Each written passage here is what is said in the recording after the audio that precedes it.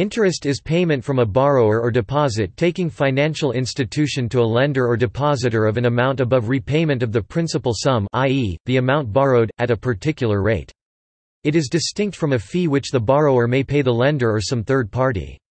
It is also distinct from dividend which is paid by a company to its shareholders owners from its profit or reserve, but not at a particular rate decided beforehand, rather on a pro rata basis as a share in the reward gained by risk-taking entrepreneurs when the revenue earned exceeds the total costs. For example, a customer would usually pay interest to borrow from a bank, so they pay the bank an amount which is more than the amount they borrowed, or a customer may earn interest on their savings, and so they may withdraw more than they originally deposited.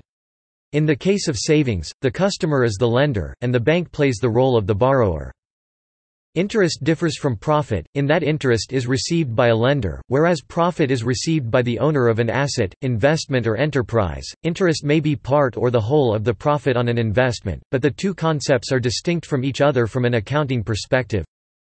The rate of interest is equal to the interest amount paid or received over a particular period divided by the principal sum borrowed or lent usually expressed as a percentage.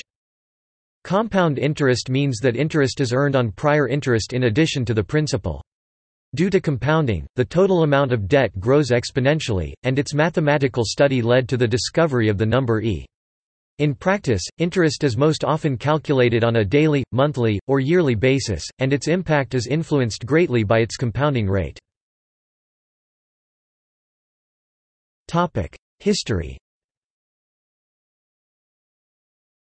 According to historian Paul Johnson, the lending of food money was commonplace in Middle Eastern civilizations as early as 5000 BC.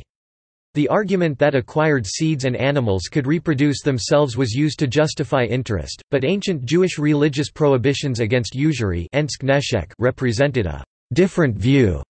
While the traditional Middle Eastern views on interest was the result of the urbanized, economically developed character of the societies that produced them, the new Jewish prohibition on interest showed a pastoral, tribal influence. In the early second millennium BC, since silver used in exchange for livestock or grain could not multiply of its own, the laws of Eshnunna instituted a legal interest rate, specifically on deposits of dowry. Early Muslims called this riba, translated today as the charging of interest. The First Council of Nicaea, in 325, forbade clergy from engaging in usury, which was defined as lending on interest above 1% per month, 12.7% APR. Ninth-century ecumenical councils applied this regulation to the laity. Catholic Church opposition to interest hardened in the era of scholastics, when even defending it was considered a heresy. Saint Thomas Aquinas, the leading theologian of the Catholic Church, argued that the charging of interest is wrong because it amounts to double charging, charging for both the thing and the use of the thing. In the medieval economy, loans were entirely a consequence of necessity bad harvests, fire in a workplace and, under those conditions, it was considered morally reproachable to charge interest. It was also considered morally dubious, since no goods were produced through the lending of money, and thus it should not be compensated, unlike other activities with direct physical output such as blacksmithing or farming.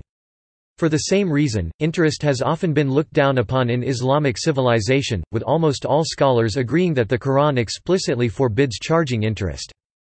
Medieval jurists developed several financial instruments to encourage responsible lending and circumvent prohibitions on usury, such as the Contractum Trinius. In the Renaissance era, greater mobility of people facilitated an increase in commerce and the appearance of appropriate conditions for entrepreneurs to start new, lucrative businesses. Given that borrowed money was no longer strictly for consumption but for production as well, interest was no longer viewed in the same manner. The first attempt to control interest rates through manipulation of the money supply was made by the Banque de France in 1847. Islamic finance The latter half of the 20th century saw the rise of interest-free Islamic banking and finance, a movement that applies Islamic law to financial institutions and the economy. Some countries, including Iran, Sudan, and Pakistan, have taken steps to eradicate interest from their financial systems. Rather than charging interest, the interest-free lender shares the risk by investing as a partner in profit-loss sharing scheme, because predetermined loan repayment as interest is prohibited, as well as making money out of money is unacceptable. All financial transactions must be asset-backed and it does not charge any interest or fee for the service of lending. Economics In economics, the rate of interest is the price of credit, and it plays the role of the cost of capital. In a free market economy, interest rates are subject to the law of supply and demand of the money supply, and one explanation of the tendency of interest rates to be generally greater than zero is the scarcity of loanable funds. Over centuries, various schools of thought have developed explanations of interest and interest rates. The school of Salamanca justified paying interest in terms of the benefit to the borrower, and interest received by the lender in terms of a premium for the risk of default. In the 16th century, Martín de Azpilcueta applied a time preference argument, it is preferable to receive a given good now rather than in the future. Accordingly, interest is compensation for the time the lender foregoes the benefit of spending the money. On the question of why interest rates are normally greater than zero, in 1770, French economist Anne-Robert Jacques Turgot, Baron de l'Aulne proposed the theory of fructification. By applying an opportunity cost argument, comparing the loan rate with the rate of return on agricultural land, and a mathematical argument, applying the formula for the value of a perpetuity to a plantation, he argued that the land value would rise without limit, as the interest rate approached zero. For the land value to remain positive and finite keeps the interest rate above zero. Adam Smith, Carl Menger, and Frédéric Bastiat also propounded theories of interest rates. In the late 19th century, Swedish economist Knut Wicksell in his 1898 Interest and Prices elaborated a comprehensive theory of economic crises based upon a distinction between natural and nominal interest rates. In the 1930s, Wicksell's approach was refined by Bertil Ohlin and Dennis Robertson and became known as the loanable funds theory. Other notable interest rate theories of the period are those of Irving Fisher and John Maynard Keynes. Calculation of interest Simple interest Simple interest is calculated only on the principal amount, or on that portion of the principal amount that remains. It excludes the effect of compounding. Simple interest can be applied over a time period other than a year, e.g., every month.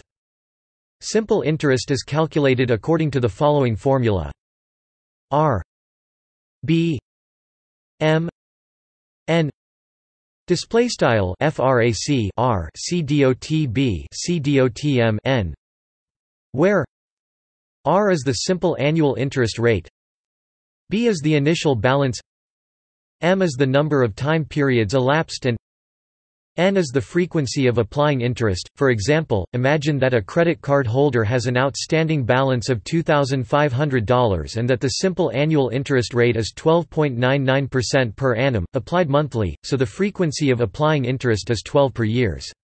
Over one month, 0.1299 times. Dollar. 2500 12 equals. Dollar. 27.06 Display style frac 0.1299 times. $2,500 12 equals. $27.06. Interest is due rounded to the nearest cent. Simple interest applied over three months would be 0.1299 times dollar 2500 times 3 12 equals dollar 81.19 Display style frac 0.1299 times $2,500 times 3 12 equals $81.19. If the card holder pays off only interest at the end of each of the three months, the total amount of interest paid would be 0.1299 times dollar 2500 12 times 3 equals dollar 27.06 per month times 3 months equals dollar 81.18 Display style frac 0.1299 times $2,500 12 times 3 equals $27.06 text per month times 3 text months equals $81.18 which is the simple interest applied over 3 months as calculated above. The 1 cent difference arises due to rounding to the nearest cent. Topic: Compound interest Compound interest includes interest earned on the interest which was previously accumulated. Compare for example a bond paying 6% biannually i.e., coupons of 3% twice a year with a certificate of deposit which pays 6% interest once a year. The total interest payment is $6 per $100 par value in both cases, but the holder of the biannual bond receives half the $6 per year after only six months time preference, and so has the opportunity to reinvest the first $3 coupon payment after the first six months, and earn additional interest. For example, suppose an investor buys $10,000 par value of a U.S. dollar bond, which pays coupons twice a year, and that the bond's simple annual coupon rate is 6% per year. This means that every six months, the issuer pays the holder of the bond a coupon of $3 per $100 par value. At the end of six months, the issuer pays the holder R B M N equals six percent times dollar ten oh oh oh times one 2 equals dollar 300 Display style frac r c dot b c dot m n equals frac 6 percent times ten dollars o o o times one two equals three hundred dollars. Assuming the market price of the bond is 100, so it is trading at par value, suppose further that the holder immediately reinvests the coupon by spending it on another $300 par value of the bond. In total, the investor therefore now holds dollar 10 plus dollar 300 equals 1 plus r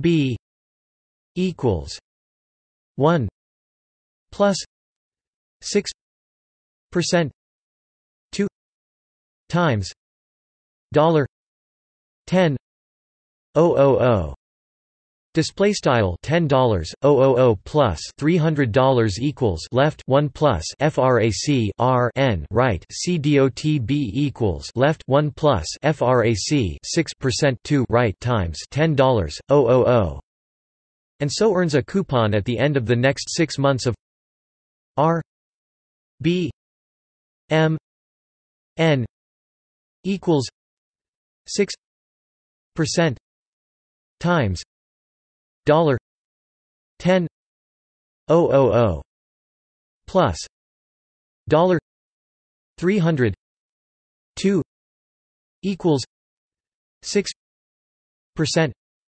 times 1 plus 6% 2 times $10 2 equals $309 display style. Begin. Aligned. Frac r c. Dot b. C dot m. N. And equals. Frac 6% times left. $10 plus $300 right. 2 and equals. Frac 6% times left. 1 plus frac 6% 2 right. Times $10 2 and equals $309 end. Aligned aligned assuming the bond remains priced at par, the investor accumulates at the end of a full 12 months a total value of $10,000 plus $300 plus $309 equals $10,000 plus 6% times $10,000 2 plus 6% times 1 plus 6% 2 times $10,000 2 equals $10,000 times 1 plus 6% 2 2 display style begin aligned $10,000 plus $300 plus $309 and equals $10,000 plus frac 6% times $10,000 2 plus frac 6% times left 1 plus frac 6% 2 right times $10,000 2 and equals $10,000 times left 1 plus frac 6% 2 right caret 2 end aligned and the investor earned in total $10,000 times 1 plus 6% 2 2 minus dollar 10 000 equals dollar 10 000 times 1 plus 6 percent 2 2 minus 1 Display style begin align ten dollars oh, oh, oh times left one plus frac six percent two right caret two ten dollars oh, oh equals ten dollars oh times left left one plus frac six percent two right caret two minus one right end aligned. The formula for the annual equivalent compound interest rate is one plus r n n minus 1 display style left 1 plus frac r n right caret n minus 1 where r is the simple annual rate of interest n is the frequency of applying interest. For example in the case of a 6% simple annual rate the annual equivalent compound rate is 1 plus 6 percent 2 2 minus 1 equals 1.03 2 minus 1 equals 6.09 percent Display style left one plus frac six percent two right caret two minus one equals one point zero three caret two minus one equals six point zero nine percent Topic: Discount instruments. U.S. and Canadian T-bills short-term government debt have a different calculation for interest. Their interest is calculated as 100 minus p, p where p is the price paid. Instead of normalizing it to a year, the interest is prorated by the number of days t, 365, t 100. See also, day count convention. The total calculation is 100 minus p, p 365, t 100. This is equivalent to calculating the price by a process called discounting at a simple interest rate. Topic: Rule of 78s. In the age before electronic computing power was widely available, flat-rate consumer loans in the United States of America would be priced using the rule of 78s, or sum of digits method. The sum of the integers from 1 to 12 is 78, the technique required only a simple calculation. Payments remain constant over the life of the loan, however, payments are allocated to interest in progressively smaller amounts. In a one-year loan, in the first month, 12 78ths of all interest owed over the life of the loan is due, in the second month, 11 78ths, progressing to the twelfth month where only 1 78th of all interest is due. The practical effect of the rule of 78s is to make early payoffs of term loans more expensive. For a one-year loan, approximately three-quarters of all interest due is collected by the sixth month, and payoff of the principal then will cause the effective interest rate to be much higher than the APY used to calculate the payments. In 1992, the United States outlawed the use of rule of 78s interest in connection with mortgage refinancing and other consumer loans over five years in term. Certain other jurisdictions have outlawed application of the rule of 78s in certain types of loans, particularly consumer loans. Rule of 72 To approximate how long it takes for money to double at a given interest rate, i.e., for accumulated compound interest to reach or exceed the initial deposit, divide 72 by the percentage interest rate.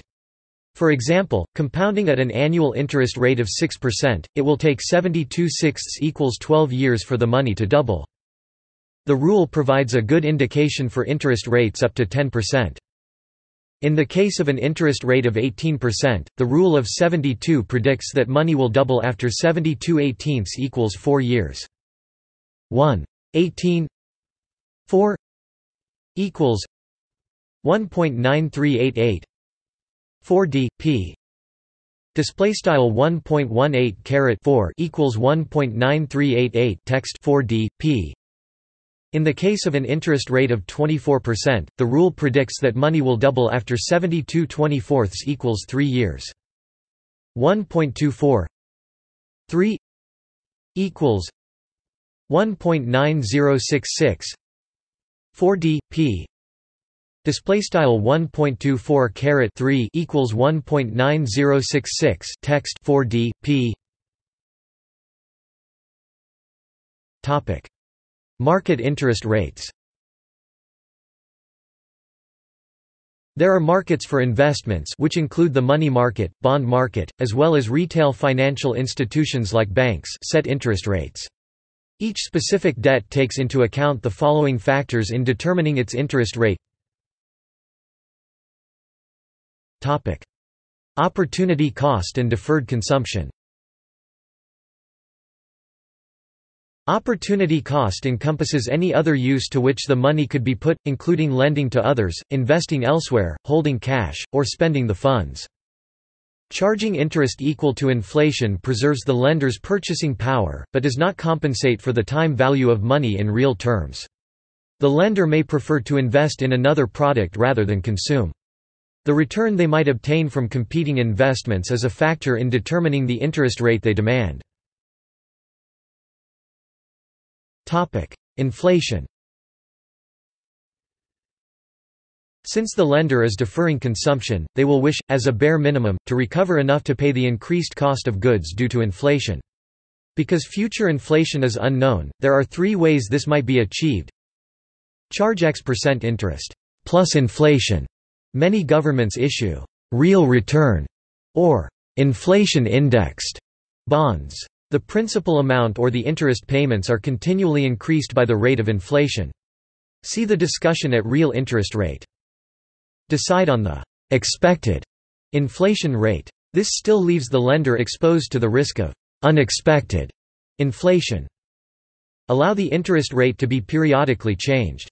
While a fixed interest rate remains the same throughout the life of the debt, variable or floating rates can be reset. There are derivative products that allow for hedging and swaps between the two, however interest rates are set by the market, and it happens frequently that they are insufficient to compensate for inflation, for example at times of high inflation during, e.g., the oil crisis, and currently 2011 when real yields on many inflation-linked government stocks are negative.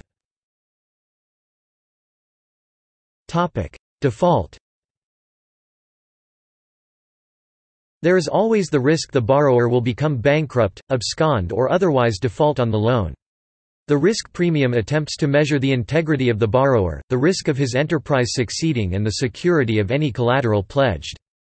For example, loans to developing countries have higher risk premiums than those to the U.S. government due to the difference in creditworthiness. An operating line of credit to a business will have a higher rate than a mortgage loan.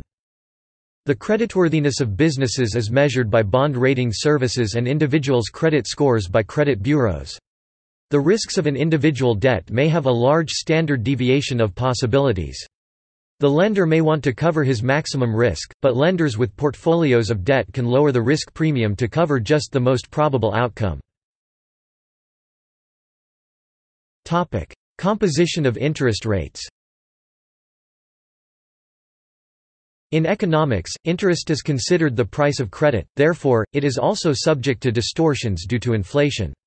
The nominal interest rate, which refers to the price before adjustment to inflation, is the one visible to the consumer i.e., the interest tagged in a loan contract, credit card statement, etc. Nominal interest is composed of the real interest rate plus inflation, among other factors. An approximate formula for the nominal interest is I equals r plus pi. Display style i equals r plus pi. Where i is the nominal interest rate r is the real interest rate and pi is inflation. However, not all borrowers and lenders have access to the same interest rate, even if they are subject to the same inflation. Furthermore, expectations of future inflation vary, so a forward-looking interest rate cannot depend on a single real interest rate plus a single expected rate of inflation. Interest rates also depend on credit quality or risk of default. Governments are normally highly reliable debtors, and the interest rate on government securities is normally lower than the interest rate available to other borrowers. The equation I equals R plus pi plus C display style I equals R plus pi plus C relates expectations of inflation and credit risk to nominal and expected real interest rates, over the life of a loan, where I is the nominal interest applied R is the real interest expected pi is the inflation expected and C is yield spread according to the perceived credit risk. Default interest Default interest is the rate of interest that a borrower must pay after material breach of a loan covenant. The default interest is usually much higher than the original interest rate since it is reflecting the aggravation in the financial risk of the borrower. Default interest compensates the lender for the added risk. From the borrower's perspective, this means failure to make their regular payment for one or two payment periods or failure to pay taxes or insurance premiums for the loan collateral will lead to substantially higher interest for the entire remaining term of the loan. Banks tend to add default interest to the loan agreements in order to separate between different scenarios. In some jurisdictions, default interest clauses are unenforceable as against public policy. Term Shorter terms often have less risk of default and exposure to inflation because the near future is easier to predict. In these circumstances, short-term interest rates are lower than longer-term interest rates an upward sloping yield curve. Government intervention Interest rates are generally determined by the market, but government intervention, usually by a central bank, may strongly influence short-term interest rates, and is one of the main tools of monetary policy. The central bank offers to borrow or lend large quantities of money at a rate which they determine sometimes this is money that they have created ex nihilo, i.e., printed which has a major influence on supply and demand and hence on market interest rates. Open market operations in the United States The Federal Reserve Fed implements monetary policy largely by targeting the federal funds rate. This is the rate that banks charge each other for overnight loans of federal funds. Federal funds are the reserves held by banks at the Fed. Open market operations are one tool within monetary policy implemented by the Federal Reserve to steer short-term interest rates. Using the power to buy and sell Treasury securities, the open market desk at the Federal Reserve Bank of New York can supply the market with dollars by purchasing U.S. Treasury notes, hence increasing the nation's money supply. By increasing the money supply or aggregate supply of funding ASF, interest rates will fall due to the excess of dollars banks will end up with in their reserves. Excess reserves may be lent in the Fed funds market to other banks, thus driving down rates. Topic: Interest rates and credit risk. It is increasingly recognized that during the business cycle, interest rates and credit risk are tightly interrelated. The Jarrow-Turnbull model was the first model of credit risk that explicitly had random interest rates at its core. Lando 2004, Darrell Duffie and Singleton 2003, and Van Deventer and Imai 2003 discuss interest rates when the issuer of the interest-bearing instrument can default. Money and inflation Loans and bonds have some of the characteristics of money and are included in the broad money supply. National governments provided, of course, that the country has retained its own currency can influence interest rates and thus the supply and demand for such loans, thus altering the total of loans and bonds issued. Generally speaking, a higher real interest rate reduces the broad money supply. Through the quantity theory of money, increases in the money supply lead to inflation. This means that interest rates can affect inflation in the future. Liquidity Liquidity is the ability to quickly resell an asset for fair or near fair value. All else equal, an investor will want a higher return on an illiquid asset than a liquid one, to compensate for the loss of the option to sell it at any time.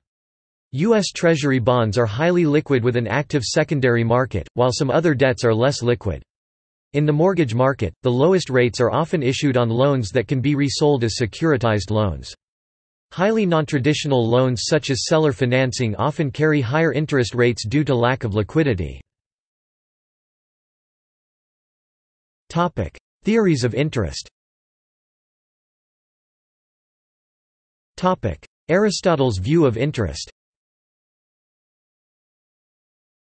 Aristotle and the scholastics held that it was unjust to claim payment except in compensation for one's own efforts and sacrifices, and that since money is by its nature sterile, there is no loss in being temporarily separated from it.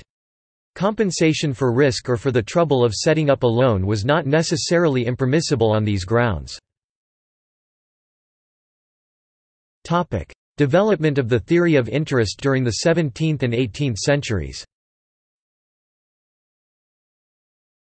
Nicholas Barbon c. 1640c.1698 described as a mistake the view that interest is a monetary value, arguing that because money is typically borrowed to buy assets goods and stock, the interest that is charged on a loan is a type of rent a payment for the use of goods.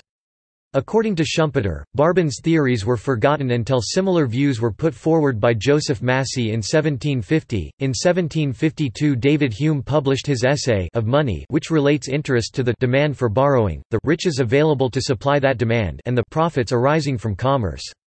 Schumpeter considered Hume's theory superior to that of Ricardo and Mill, but the reference to profits concentrates to a surprising degree on commerce rather than on industry. Turgot brought the theory of interest close to its classical form. Industrialists share their profits with capitalists who supply the funds reflections, LXXI. The share that goes to the latter is determined like all other prices LXXV by the play of supply and demand amongst borrowers and lenders, so that the analysis is from the outset firmly planted in the general theory of prices. The classical theory of the interest rate The classical theory was the work of a number of authors, including Turgot, Ricardo, Mountfort Longfield, J. S. Mill, and Irving Fisher.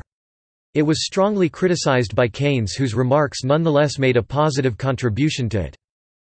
Mill's theory is set out the chapter of the rate of interest in his Principles of Political Economy. He says that the interest rate adjusts to maintain equilibrium between the demands for lending and borrowing. Individuals lend in order to defer consumption or for the sake of the greater quantity they will be able to consume at a later date owing to interest earned. They borrow in order to anticipate consumption whose relative desirability is reflected by the time value of money, but entrepreneurs also borrow to fund investment and governments borrow for their own reasons. The three sources of demand compete for loans, for entrepreneurial borrowing to be in equilibrium with lending. The interest for money regulated by the rate of profits which can be made by the employment of capital. Ricardo's and Mill's profit is made more precise by the concept of the marginal efficiency of capital the expression, though not the concept, is due to Keynes, which may be defined as the annual revenue which will be yielded by an extra increment of capital as a proportion of its cost. So the interest rate R in equilibrium will be equal to the marginal efficiency of capital R. Rather than work with r and r as separate variables, we can assume that they are equal and let the single variable r denote their common value. The investment schedule I r shows how much investment is possible with a return of at least r. In a stationary economy it is likely to resemble the blue curve in the diagram, with a step shape arising from the assumption that opportunities to invest with yields greater than R have been largely exhausted while there is untapped scope to invest with a lower return. The solid red curve in the diagram shows the desired level of saving S as a function of R for the current income Y. Saving is the excess of deferred over anticipated consumption, and its dependence on income is much as described by Keynes see the general theory, but in classical theory definitely an increasing function of R. The dependence of S on income Y was not relevant to classical concerns prior to the development of theories of unemployment. The rate of interest is given by the intersection of the solid red saving curve with the blue investment schedule. But so long as the investment schedule is almost vertical, a change in income leading in extreme cases to the broken red saving curve will make little difference to the interest rate. In some cases the analysis will be less simple.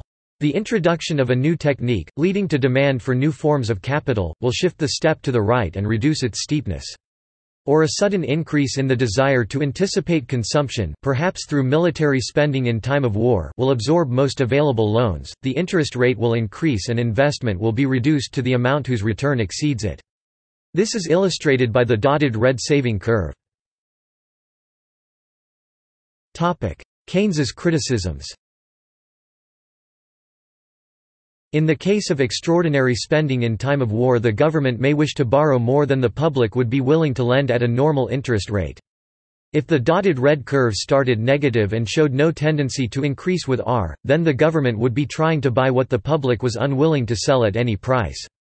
Keynes mentions this possibility as a point which might, perhaps, have warned the classical school that something was wrong p.182. He also remarks on the same page that the classical theory doesn't explain the usual supposition that an increase in the quantity of money has a tendency to reduce the rate of interest, at any rate in the first instance. Keynes's diagram of the investment schedule lacks the step shape which can be seen as part of the classical theory.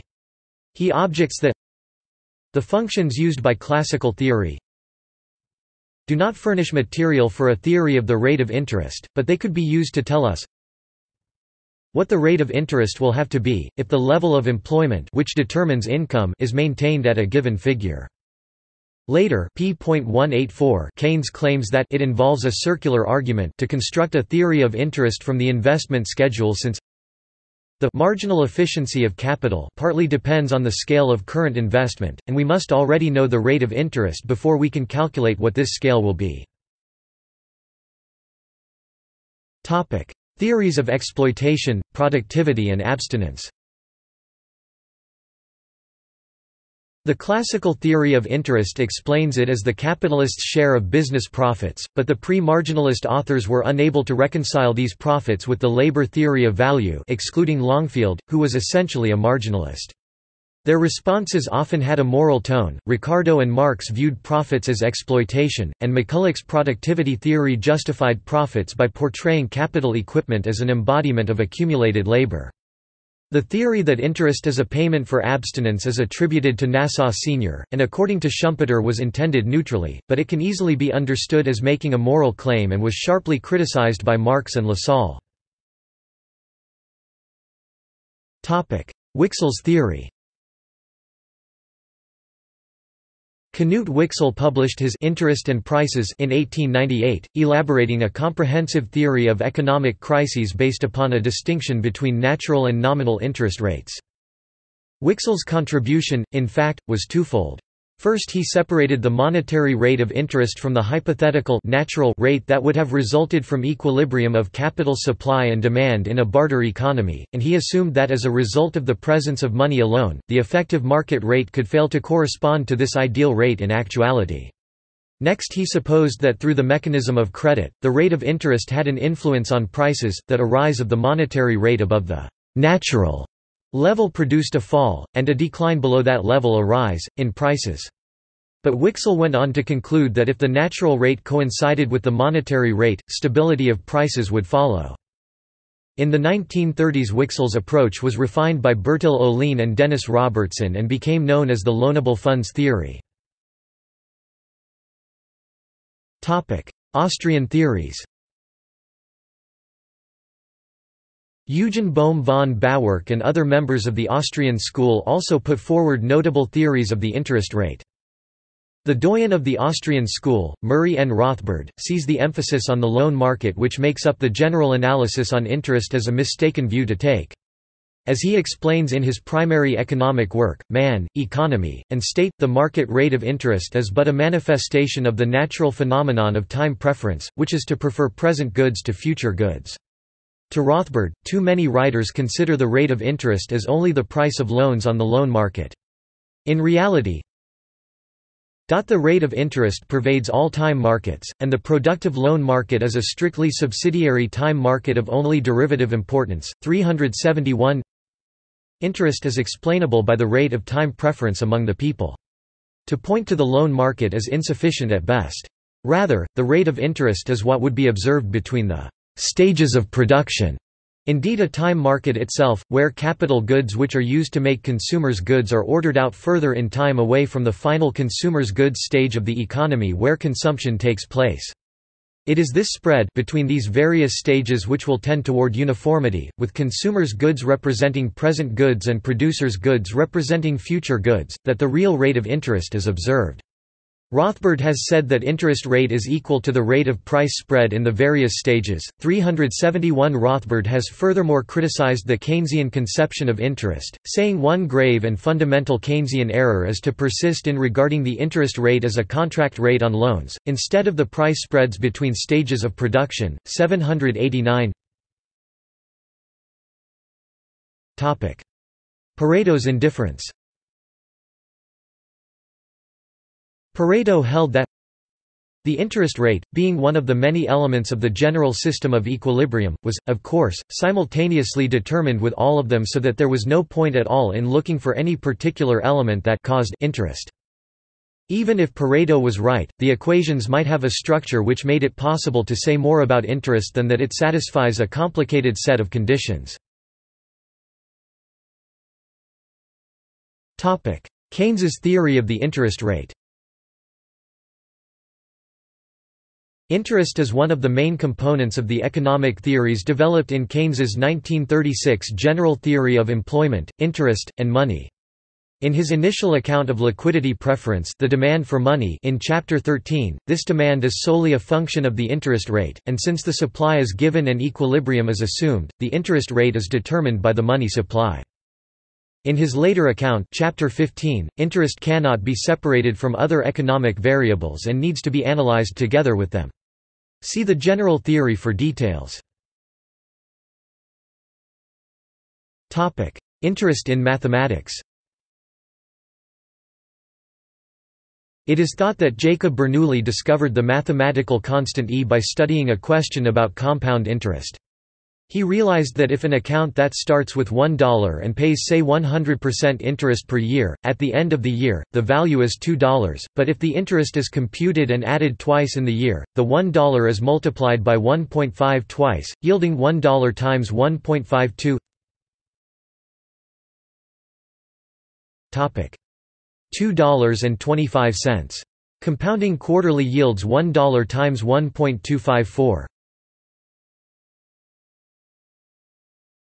$2.4414 and so on.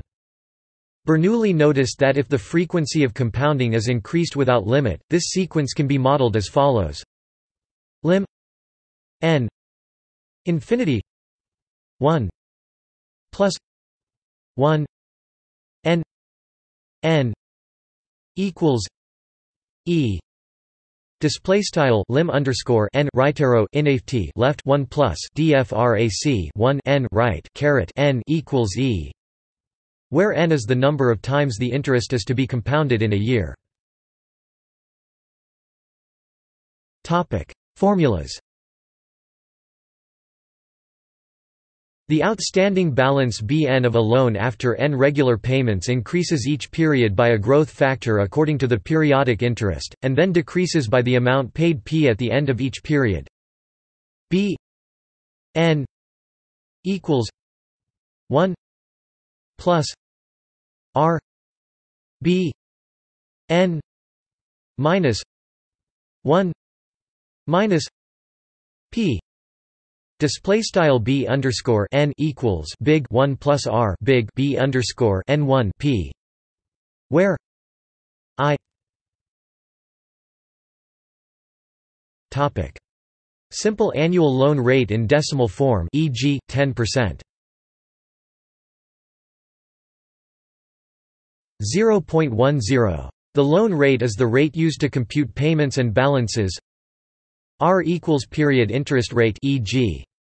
I 12 for monthly payments 1 BO equals initial balance, which equals the principal sum B repeated substitution 1 obtains expressions for Bn, which are linearly proportional to BO and P and use of the formula for the partial sum of a geometric series results in b n equals 1 plus r n b 0 minus 1 plus r n minus 1 r p Display style b underscore n equals one plus r caret n b underscore zero frac one plus r caret n minus one r p.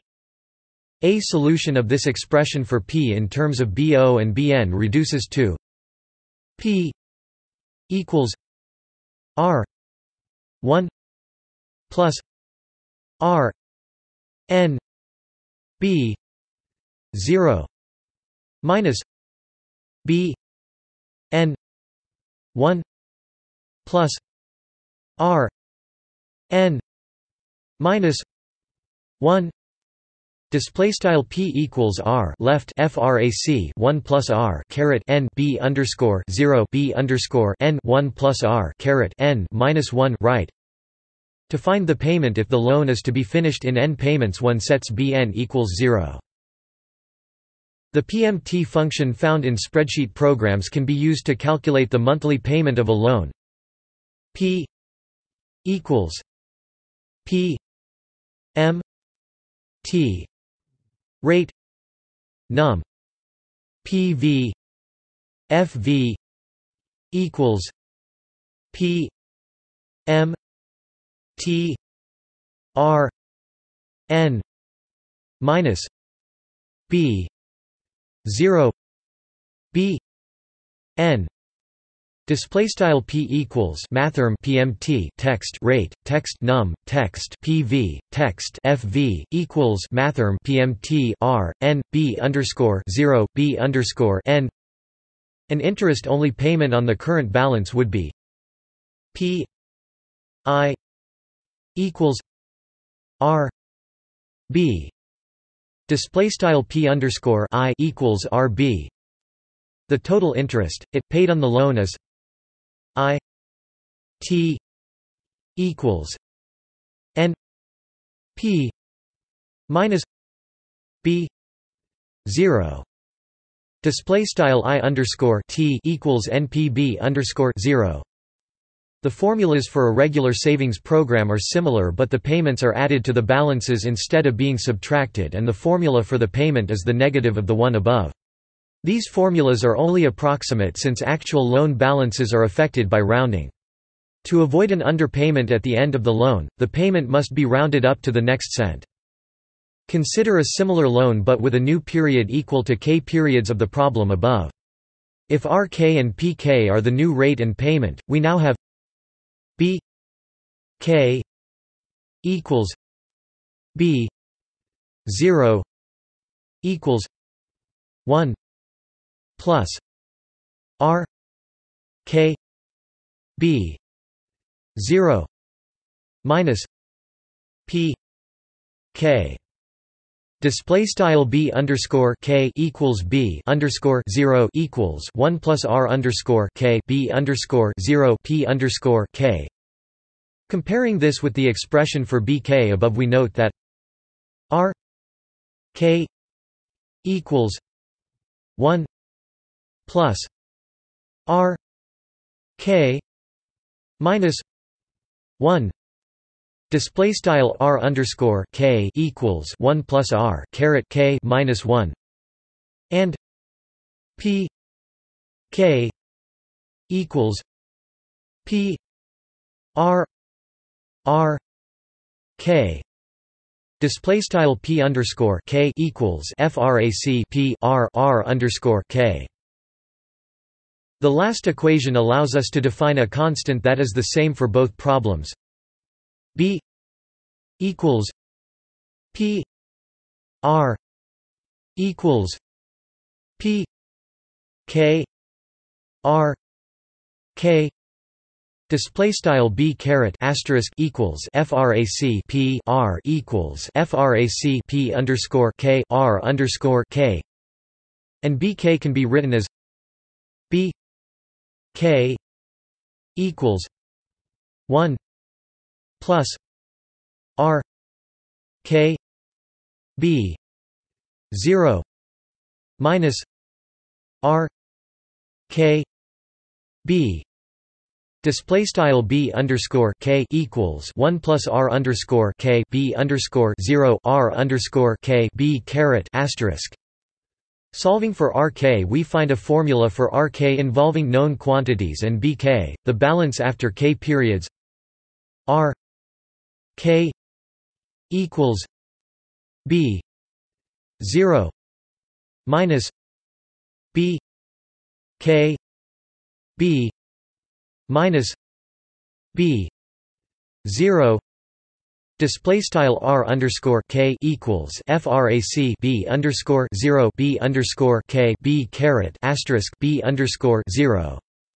Since BO could be any balance in the loan, the formula works for any two balances separate by k periods and can be used to compute a value for the annual interest rate. B is a scale invariant since it does not change with changes in the length of the period. Rearranging the equation for b asterisk one gets a transformation coefficient scale factor. Lambda k equals p k p equals r k r equals 1 plus r k minus 1 r equals K one plus K minus one R two plus Display style lambda underscore k equals frac p underscore k p equals frac r underscore k r equals frac one plus r caret k minus one r equals k left one plus frac k one r two plus c dots right. See binomial theorem, and we see that r and p transform in the same manner. r k equals lambda k r display style r underscore k equals lambda underscore k r p k equals lambda k p display style p underscore k equals lambda underscore k p.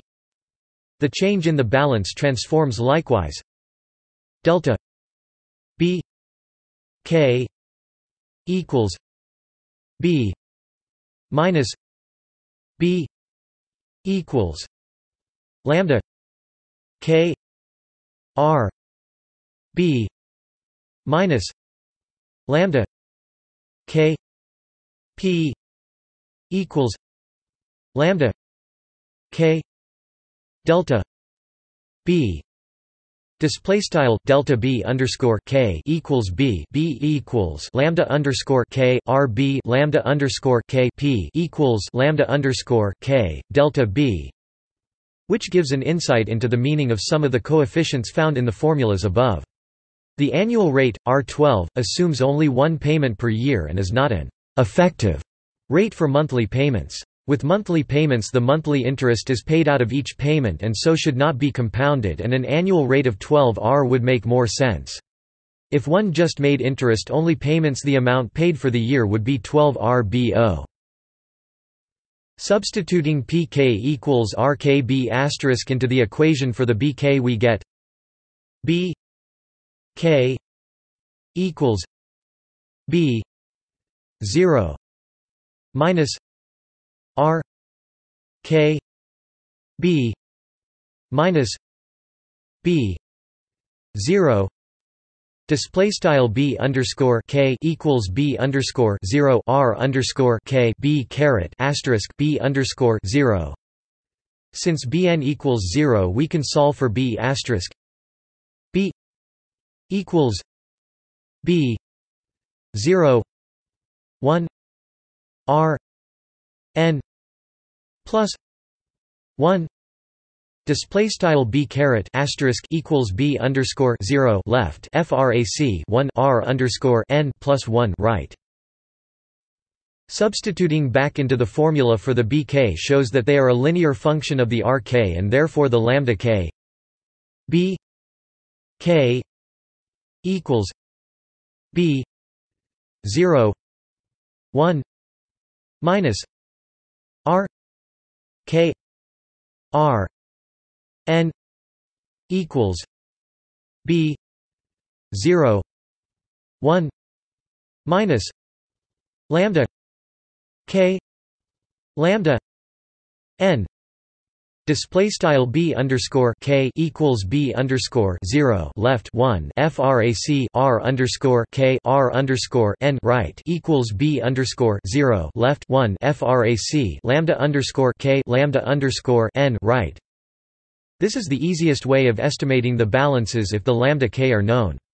Substituting into the first formula for bk above and solving for lambda k plus 1 we get lambda k plus 1 equals 1 plus 1 plus r lambda k Display style lambda underscore k plus one equals one plus one plus r lambda underscore k. Lambda zero and lambda n can be found using the formula for lambda k above or computing the lambda k recursively from lambda zero equals zero to lambda n. Since P equals RB asterisk the formula for the payment reduces to P equals R plus one lambda n B zero display style P equals left R plus FRAC one lambda underscore n right B underscore zero and the average interest rate over the period of the loan is R loan equals IT n B zero equals R plus one lambda n minus one n display style R underscore text loan equals FRAC I underscore T n B underscore zero equals R plus frac 1 lambda underscore n frac 1 n, which is less than R if n greater than 1. Topic see also topic Notes topic References Duffie, Darrell and Kenneth J. Singleton 2003. Credit Risk, Pricing, Measurement, and Management. Princeton University Press. ISBN 978-0-691-09046-7. Kellison, Stephen G. 1970. The Theory of Interest. Richard D. Irwin, Inc. Library of Congress Catalog Card No. 79-98251. Lando, David 2004. Credit Risk Modeling, Theory and Applications. Princeton University Press. ISBN 978-0-691-08929-4. Van Deventer, Donald R. and Kenji Imai 2003. Credit Risk Models and the Basel Accords. John Wiley & Sons. ISBN 978-0-470-82091-9. External links. White Paper, More Than Math, The Lost Art of Interest Calculation. Mortgages Made Clear Financial Services Authority UK OECD interest rate statistics. You can see a list of current interest rates at these sites World interest rates Forex motion. Which way to pay? Deposit rates in European countries